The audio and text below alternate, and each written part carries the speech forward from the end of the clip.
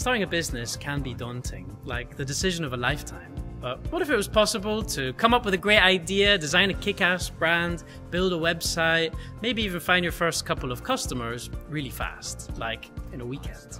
In this book, I share the tips and tricks that made it possible for me to do just that, launching a pimped up porridge oat company called Awesome Oats in just two days. I started my first business at the age of 14, and over the past 12 years, I've grown from my grand's kitchen in Scotland to the shelves of supermarkets around the world. I learned a lot, mostly by doing things the wrong way and the long way, and I wanted to create a cheat sheet to help you do things much more quickly. I hope that the shortcuts that I've uncovered in this book help you on your own 48 hour startup adventure.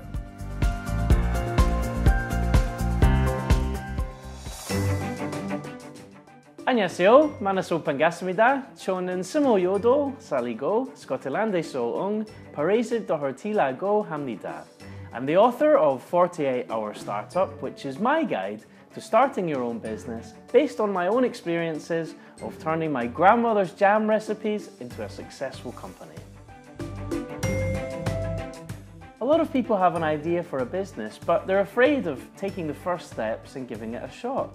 Maybe they imagine that it has to be the decision of a lifetime, that they have to quit work or quit school.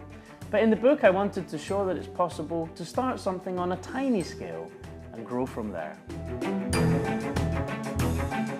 In 48 Hour Startup, I undertook an experiment. I started my own business over just two days I came up with an idea, I came up with a name, created a brand, set up a website, and even found my first couple of customers. And I've included all of the tips and tricks and advice for how you can do the same. My advice is to start small. You don't need to quit school or work. You don't even need to borrow a lot of money. Be sure to ask for advice. You'll be amazed at how happy and willing other people are to share what they've learned and give you some help along the way. But above all, listen to your customers. Your idea won't be perfect first time around, but if you make lots of little changes along the way, eventually you'll create something that people love. Everything in the book can be applied to starting a business anywhere, so definitely budding entrepreneurs in Korea will find the tips and ideas in the book useful to starting a business in South Korea. Starting my own business has not only been a great adventure, but it's changed my life. And if you're thinking of starting your own business, then don't be afraid.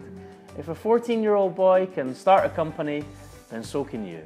Good luck. Música